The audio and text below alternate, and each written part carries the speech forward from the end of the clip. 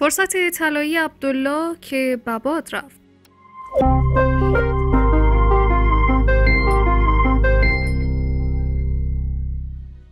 تاریخ در همان غلطک سابق خود در حرکت است. دکتر عبدالله که می توانست رئیس جمهور شود ولی با ندانمکاری هایش این فرصت را بباد داد.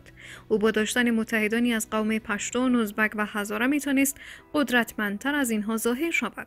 ولی او در دام تبلیغات تیم دولت ساز افتاد و در زمانی که باید کمپاین می‌کرد خود را بلندگویی برای صلح و پروسه گفتگوهای صلح میان آمریکا و طالبان ساخت. البته او می‌خواست با این خوشخدمتی به آمریکایی ها نشان دهد که با هیچ سیاست آمریکا در افغانستان مخالفت ندارد.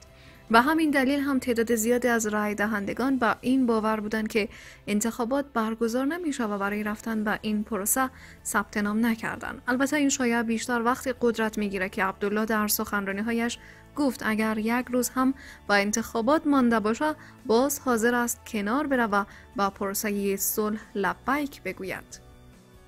در عوض تیم دولت ساز با تمام توان برای انتخابات تلاش کرد و از هر گزینه موجود نهایت استفاده را کرد. حالا هم آمریکایی ها پشت عبدالله را رها کردند و هم پیمانانش مانند دوستم و صلاح الدین ربانی هم همچنان. نیکلاس کی نماینده غیر نظامی ناتو در امور افغانستان در گفتگوی ویژه با بخش فارسی بی بی سی کمیسیون انتخابات افغانستان را با اعلام نتایج اولیه انتخابات ریاست جمهوری تشویق کرد. او همچنین از نامزدان و فعالان سیاسی خواست به تصمیم کمیسیون احترام بگذارند. این گفتهش نشانگر آن است که آمریکایی ها از پیروزی تیم غنی حمایت می کند. آقای کی که با سوالهای کسرا ناجی پاسخ می‌داد گفته است که هیچ کدام از افغانهایی که او دیده است خواهان وقوع بحران و بیثباتی در نتیجه انتخابات نیستند او همچنین شایعات در مورد تشکیل حکومت موقت را نادرست خواند و گفت اعتماد مردم به شمرده شدن رأیشان و سعی کمیسیون انتخابات برای بازسازی و جدا کردن آرای پاک از ناپاک برای آینده دموکراسی در این کشور بسیار اهمیت دارد.